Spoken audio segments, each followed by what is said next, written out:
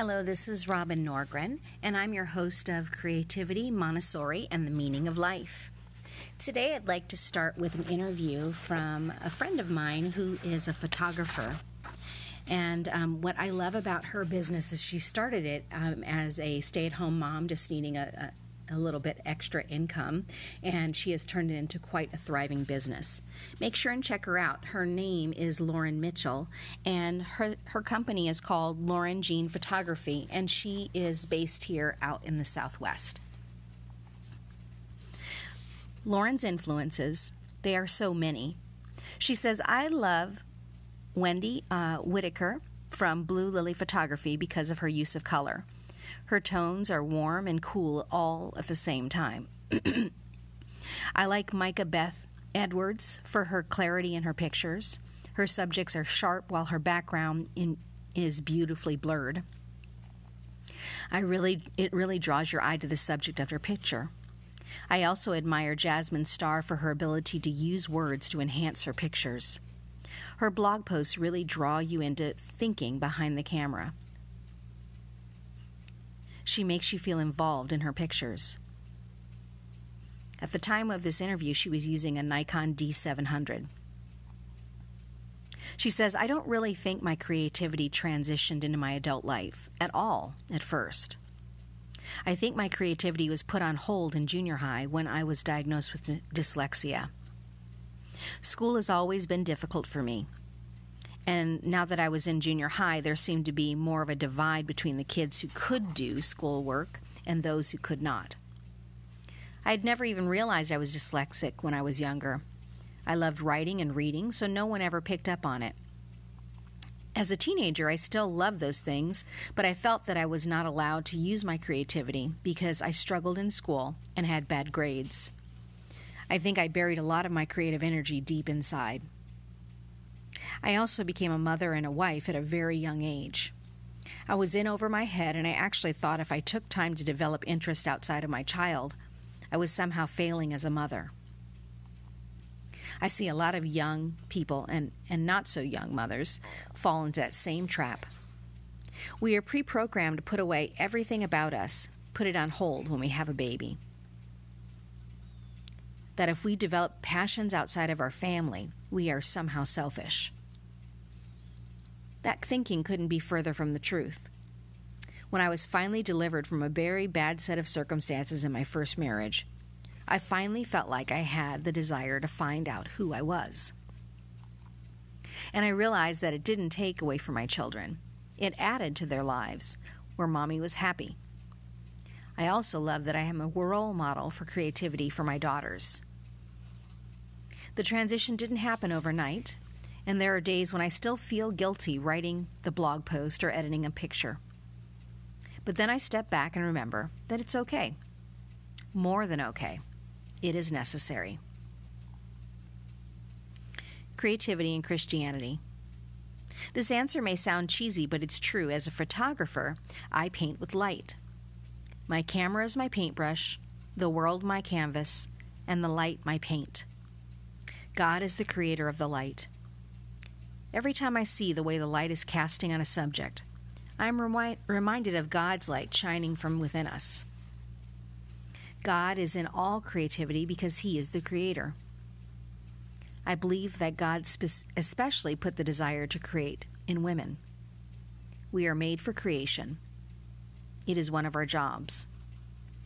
When I finally realized that God was not only okay with me being creative, but I was called to be creative, it put a whole new spin on things for me. It made blogging the memories of my family, taking time in the morning to read and reflect on things, and spending time learning more about my craft more like a higher calling than, think, than things that I just enjoyed doing. Currently, I'm working on growing my photography business and trusting that God will leave me, lead me right where I need to be. My dream is that one day he will need me to be in the middle of Africa photographing his hurting children, bringing those images back home to his children in America. I want to take p- pictures that move people to action, the pictures that speak a thousand words. That's my dream.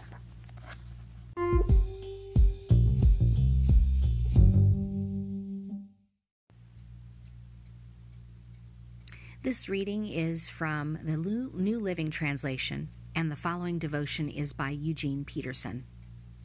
It's from Luke 1 46 to 55. Mary said, I'm bursting with God news. I'm dancing the song of my Savior God. God took one look at me, and look what happened. I'm the most fortunate woman on earth. What God has done for me will never be forgotten. The God whose very name is holy, set apart from all others. His mercy flows in wave after wave on those who are in awe before him. He bared his arm and showed his strength, scattered the bluffering braggarts. He knocked tyrants off their high horses, pulled victims out of the mud. The starving poor sat down to a banquet. The callous rich were left out in the cold. He embraced his chosen child Israel. He remembered and piled on the mercies, piled them high. It's exactly what he promised, beginning with Abraham and right up till now. Take Mary's song of joy and thanks and make it into a personal prayer replacing God with you. Mary was reflecting on a specific intervention of God in her life. Add to your prayer of thanks specific memories of how God has moved into your world and piled mercy upon mercy. How will you reflect God's politics today? His Spirit is in you. All of the actions Mary described are happening in your life as well.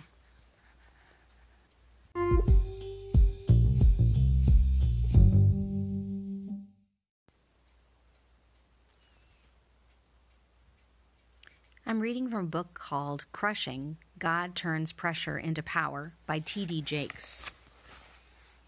This chapter called Yesterday's Fruit, Tomorrow's Wine. One thing I'm certain of is that God loves me. I've been through too much in my life and seen how the Father has taken care of me to say that He doesn't take His hand and have it on me. I can hardly speak about how I've seen God move in my life without being overwhelmed. I realize that some people don't feel that way about God. They look at their lives and can only see the negativity that forces them to ask, If God loves me, why does life keep hurting me? Why do I keep losing everything that's valuable? Really? Is what you lost that valuable?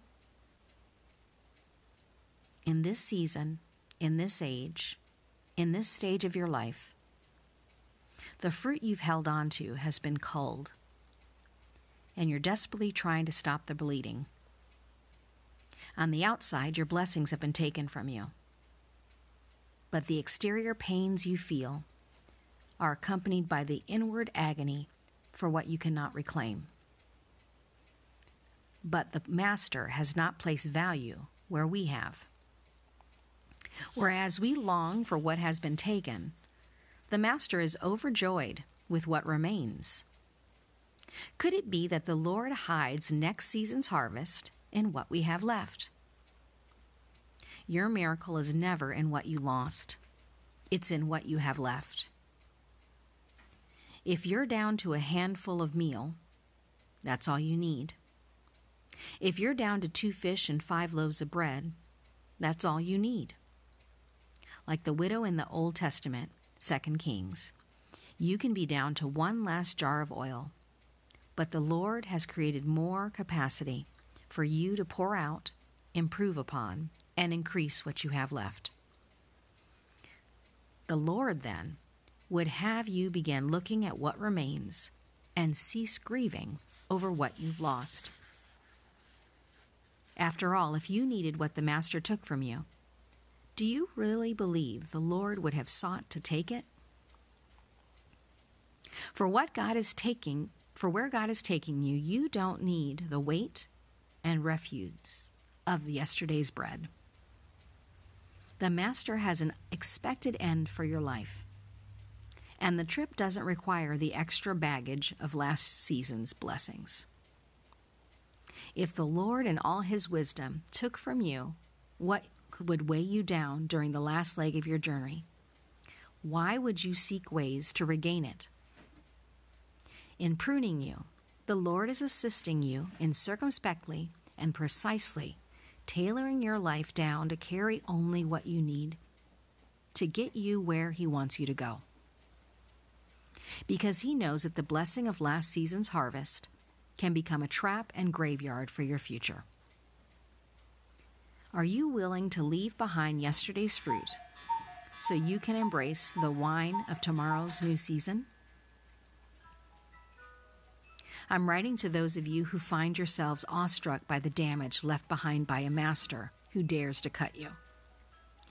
Though it appears that everything you built has been taken from you, the Lord has strategically left a remnant that will rise and give rise to more fruit next season. It's the remnant that is most valuable to the wine dresser, for there is life in what remains.